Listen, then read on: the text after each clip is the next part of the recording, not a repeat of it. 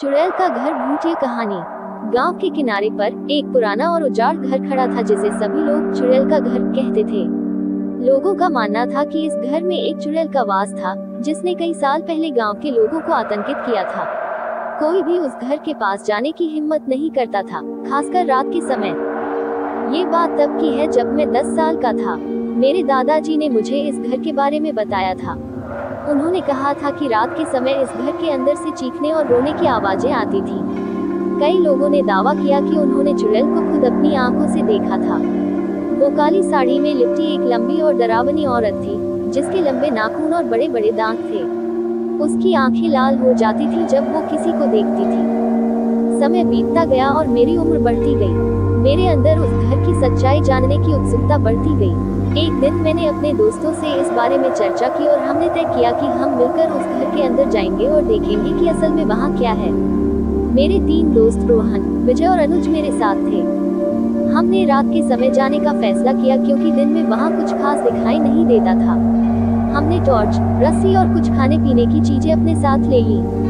जब रात का अंधेरा छा गया और पूरा गाँव सो गया, हम चारों चुपचाप उस घर की ओर चल पड़े। रास्ते में हमें बहुत डर लग रहा था लेकिन हमने एक दूसरे को हिम्मत दिलाई और आगे बढ़ते गए। जब हम घर के पास पहुँचे तो हमने देखा कि दरवाज़ा खुला हुआ था। दिल की धड़कनें तेज हो गईं, लेकिन हम रुके नहीं। धीरे धीरे कदम बढ़ाते हुए हम अंदर चले गए।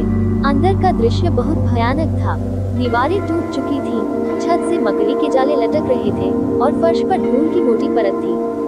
चारों ओर सन्नाटा था, लेकिन फिर भी हमें ऐसा लग रहा था कि कोई हमें देख रहा है। जैसे ही हम अंदर बढ़े, हमने सुना कि किसी ने हमारे पीछे दरवाज़ा बंद कर दिया। हम सबने एक दूसरे को देखा और डर के मारे हमारी हालत खराब हो गई। फिर अचानक ही हमें एक ठंडी हवा का झोंका महसूस हुआ और हमने देखा कि एक काला साया हमारे सामने से गुजरा।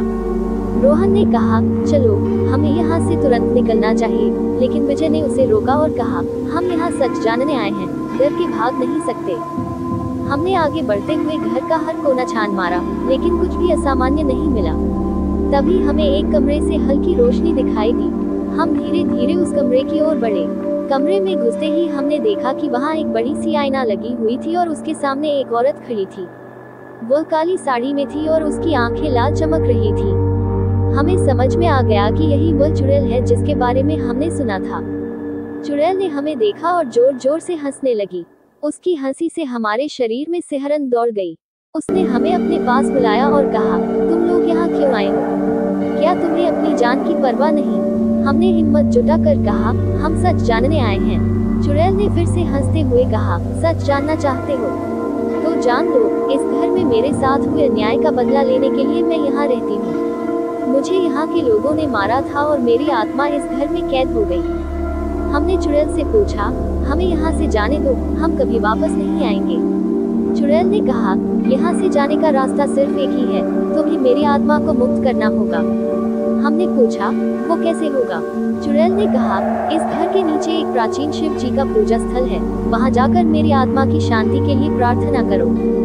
हमने हिम्मत जुटाकर पूजा स्थल की खोज शुरू की। घर के एक कोने में हमें एक सीढ़ी मिली, जो नीचे तहखाने में जा रही थी। हम नीचे उतरे और वहाँ एक पुराना पूजा स्थल देखा। हमने वहाँ दिए जलाए और चुड़ैल की आत्मा की शांति के लिए प्रार्थना की। अचानक ही तेज हवा का झुका आया और हमें ऐसा लगा कि कोई हमारे चारों ओर घूम रहा है। प्रार्थना करते ही हमें चुड़ैल की आवाज़ सुनाई दी, धन्यवाद, अब मेरी आत्मा को शांति मिल गई है। उसके बाद सब कुछ शांत हो गया। हम तेज़ी से ऊपर आए और देखा कि दरवाज़ा फिर से खुल गया था। हम घर से बाहर निकले और तेज़ी से भागते हुए गाँव की ओर लौटे। अंत में, उस रात के बाद हम सबने कसम खाई कि हम उस घर के बारे में किसी को कुछ नहीं बताएँगे। लेकिन मेरे दिल में उस चुड़ैल की कहानी और उसका दर्द हमेशा के लिए बस गया। अब जब भी मैं उस घर की ओर देखता हूँ, मुझे उसकी आवाज़ और उसकी कहानी याद आती है। गाँव के लोग अब भी उस घर से डरते हैं, लेकिन मुझे पता है कि अब वहाँ कोई डर नहीं है क्योंकि चुड़ैल की आत्मा को शांति मिल चुकी है।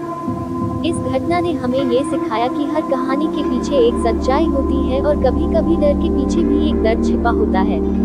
आशा करते कि आपको ये कहानी पसंद आई होगी। ऐसी डरावनी कहानियाँ के लिए चैनल को सब्सक्राइब कर देना।